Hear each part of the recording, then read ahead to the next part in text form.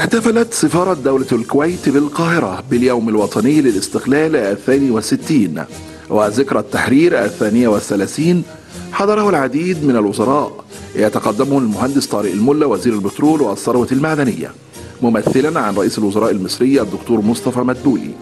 كما حضره العديد من السفراء والدبلوماسيين العرب والأجانب والأمين العام لجامعة الدول العربية الأسبق السيد عمرو موسى. وممثل البرلمان المصري والعديد من الشخصيات العامة المصرية والعربية. وكان في استقبالهم جميعا السفير الكويتي بالقاهرة غانم صقر الغانم الذي رحب بهم واستقبل تهانيهم بالعيد الوطني ويوم الاستقلال. نحتفل اليوم بالذكرى الثانية والستين لتحرير لاستقلال الكويت والذكرى الثانية والثلاثين لتحرير الكويت. وشرف لي إني أنا أشوف الحضور الجميل هذا في حفل دولة الكويت لدي القاهرة. هذا يدل على المكانة اللي تتبوأها دولة الكويت في قلوب أهل مصر ومكانتهم كذلك في قلوب أهل الكويت.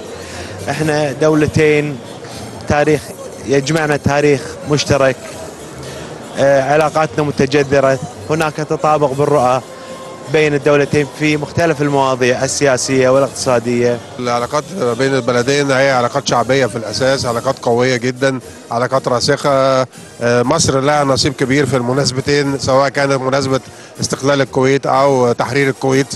مصر كانت عندها دور كبير في المناسبتين وبالتالي أنا بشوف إن دولة الكويت وقفت مع مصر في مناسبات كثيرة أيضا وبالتالي هذه العلاقات أعتقد إنها علاقات متكثره لن يعني تصاب باي وهن في أي مرحلة من المراحل لأنها قايمة على علاقات شعبية في الأساس أكثر منها علاقات يعني على مستويات أعلى. أنا اولا بدي أقول مبروك لدولة الكويت وشعب الكويت يعني بمناسبة العيد الوطني.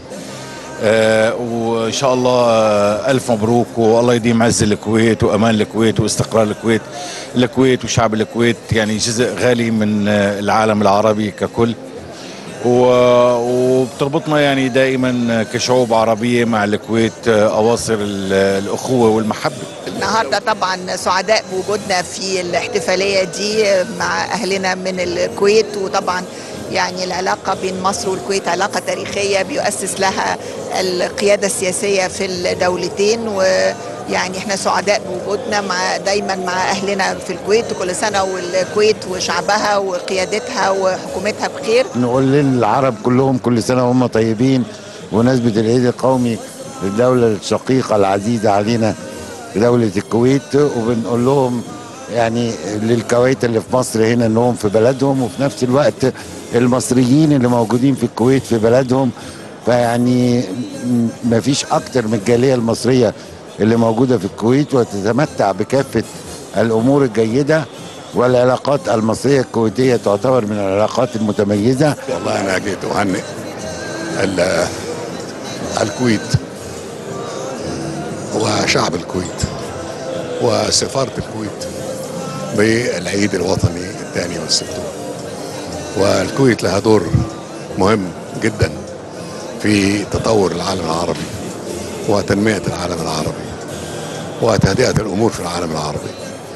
وبناء عليه أنا بأحيي الكويت في هذه المناسبة المباركة. أيمن دياب لبرنامج صباح البلد.